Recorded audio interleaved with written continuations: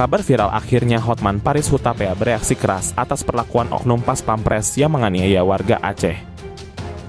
Hotman Paris marah besar dan siap memberikan dampingan hukum terhadap keluarga korban. Seperti apa beritanya, mari simak video berikut ini. Kasus dugaan penculikan dan penganiayaan yang berujung meninggal dunia seorang warga Aceh di Jakarta, Imam Mashkur 25 tahun akhirnya sampai ke telinga pengacara kondang, Hotman Paris.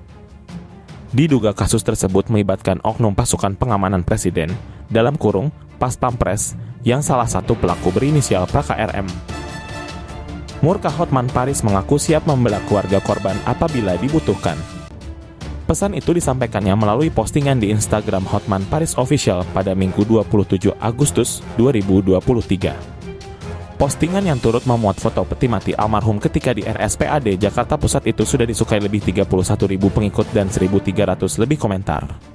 Kasus yang menimpa Imam Mashkur, warga Aceh ini terjadi di Jakarta pada Sabtu 12 Agustus 2023 sebelum akhirnya meninggal dunia di RSPAD Jakarta Pusat. Dalam keterangannya, kemudian Hotman menjelaskan kenapa dirinya perlu mendampingi masyarakat kecil yang mendapat perlakuan tidak adil.